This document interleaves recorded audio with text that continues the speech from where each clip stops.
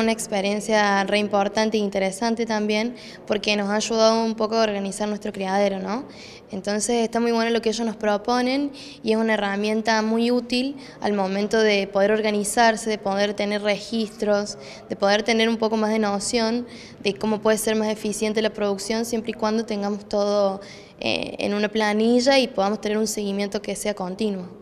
¿Ustedes estudiantes de qué año son? De séptimo año, estamos en el último, por eso también es importante que nosotros lo compartamos con el resto de los cursos que son los que van a seguir eh, en todo este proceso y es importante que no se pierda la conexión y que sigan teniendo contacto bueno, con el CIAP, con los chicos que la verdad que nos ayudan un montón y también bueno con el tema del programa, que hacer el seguimiento y que, que todo siga como, como lo estamos arrancando nosotros. En tu caso, Agustín, ¿cuál es la opinión de esta capacitación, esta experiencia que han realizado en la UNI? Bueno, en mi opinión, eh, yo creo que fue algo muy positivo. Yo creo que todas las capacitaciones sirven eh, para ir mejorando, para ser cada vez más eficiente, sobre todo en las producciones que son así un poco más chicas, son más como dejadas.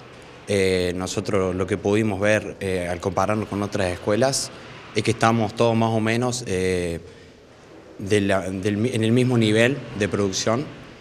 todos tenemos por ahí, compartimos muchos errores y bueno, eso nos sirve para poder mejorarlos, cambiar la situación.